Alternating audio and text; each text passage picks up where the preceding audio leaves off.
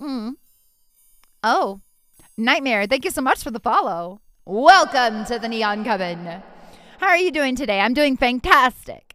Doing very well. Whoops. I didn't mean to do that.